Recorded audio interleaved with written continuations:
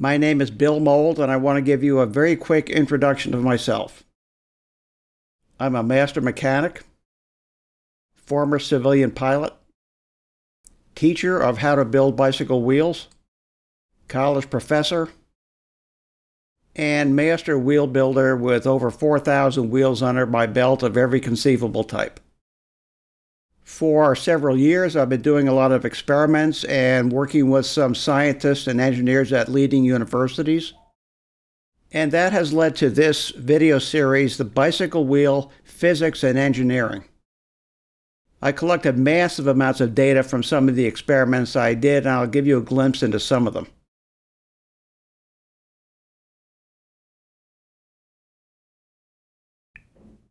I want to use my movie camera to show you this apparatus because it's turned out to be a perfect setup for measuring spoke tension.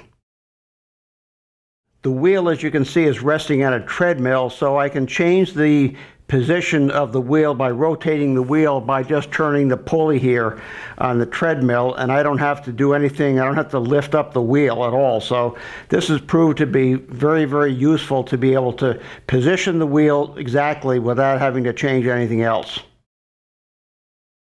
I installed an external cup on the uh, bottom bracket shell, which allows a three quarter inch threaded rod to go through the bottom bracket and uh, turned out to be a very good fit. Spaced equally on both sides are some pretty heavy chains that go around the treadmill and through that hole in the table. Right now these chains are slack, which means there's no load applied to the wheel of the bike. But as I lower this jack, which is supporting the weight, then we see that the weight is slowly transferred to the wheel. And at some point, the swing is just swinging freely, which means that all of the weight has been transferred to the bike. I now have a 240 pound load on the bike. Here's a wheel on my test stand with 320 pounds loaded on it, and I've tensioned it so that the spokes will go slack when they go through the load bearing zone, and we're going to see what happens.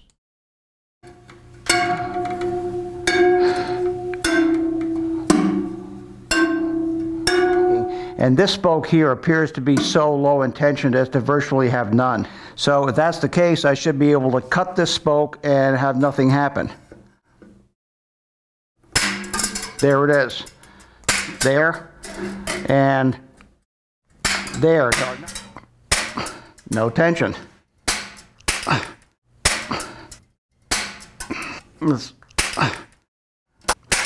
These are all spokes that have no tension. None there. Quite a bit here. None here. After all that, I have removed 21 of the 32 spokes in the wheel. The wheel is a little bit elliptical, but is still supporting the load. Makes you wonder how many spokes is the minimum to have on a wheel.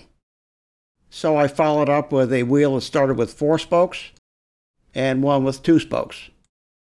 My experiments on rotational weights and rates of acceleration have some very compelling videos.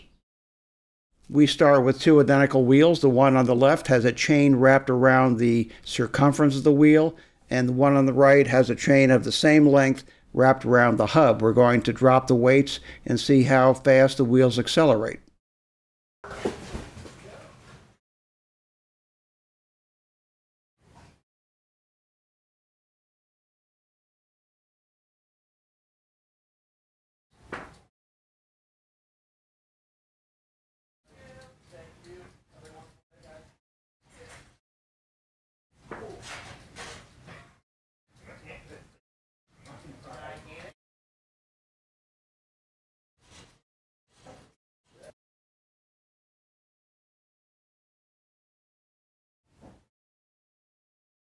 What we've obviously seen here is that the wheel on the right that has the chain around the hub, the weight dropped rather quickly. The wheel spun up fast, but the wheel also slowed down rather quickly. The wheel on the left, the weight was slower to drop. The wheel was slower to spin up, but continued spinning a longer period of time. And there are very many more experiments, as well as a lot of studying into other topics, of which I'll give you some examples. Studying the behavior of wheels when loaded from the side. Measuring the deflection of rims from the ground with side loads. Studying spoke elasticity. Static and dynamic forces on a vertically loaded wheel studying the braking forces on disc brake bicycles, and exactly what causes an endo.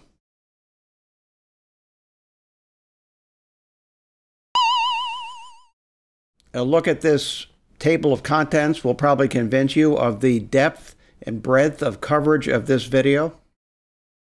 Check out my website for more information about this video, which is interesting and informative and you'll see some good examples of some of the videos that are in there on the website so you can get a sense of the content.